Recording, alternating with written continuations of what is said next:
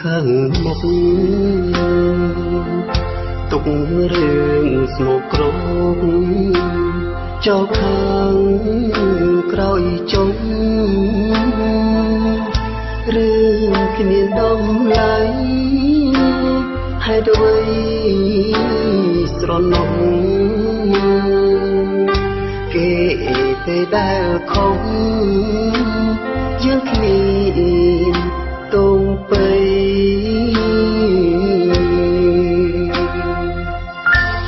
វាគ្មានតម្លៃឲ្យគិតបន្តភ្លេចលឿនរត់ល្អរឿងអស់និស័យរឿងរ៉ាវជីវិតអណេពេកក្រៃឬព្រោះចង់រៃ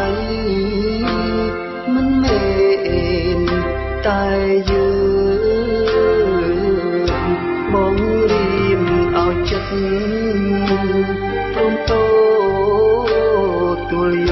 កគ្រប់រឿងក្នុងលោក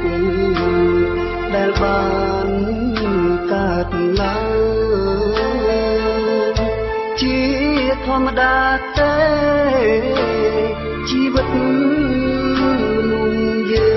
ងជួបគ្រប់តែរឿងព្រៀមត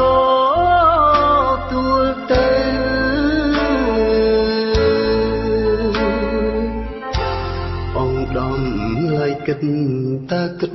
ធ្វើអ្វីគិតនោមចង់រៃនោមចិត្តមកសៅចោលខាងក្រោយចុងភ្នែកមើលគោលដៅថ្មិច